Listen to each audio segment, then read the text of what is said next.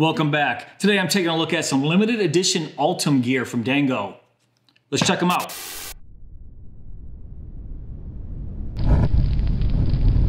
Now I just took these out of the box and I haven't taken them out of the packaging yet.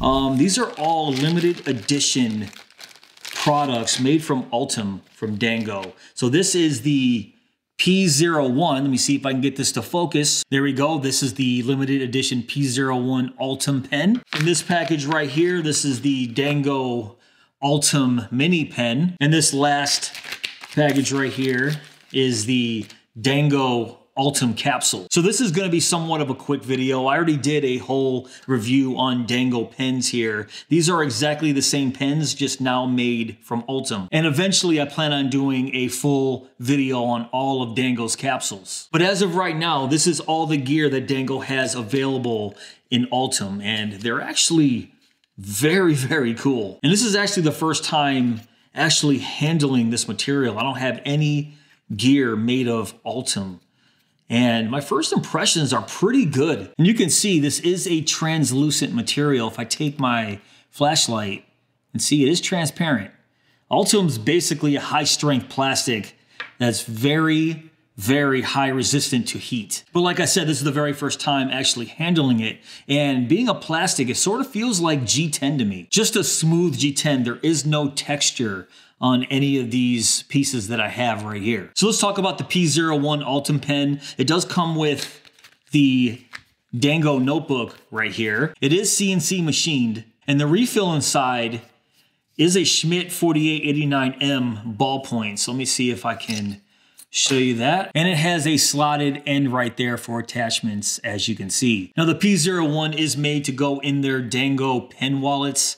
Um, I've talked about this pen many, many times, and that's separate from the actual review that I did on all of Dango's pens. Now let's talk about the Ultem mini pen here. Just like the P01, the mini pen is CNC machined. It has the same Schmidt 4889M black refill inside, and it has the same slotted end, except for this one is just one straight single hole. Uh, the P01 has two holes as you can see right there. And of all the pens that Dango makes, the mini pen is my favorite. For one, it's great for EDC because it does come with a pocket clip here, stainless steel pocket clip, and it has threaded ends. So when you take the cap off, you can screw it into the back right there, and now you have a full-size pen. So that's why the mini pen is my favorite pen from Dango.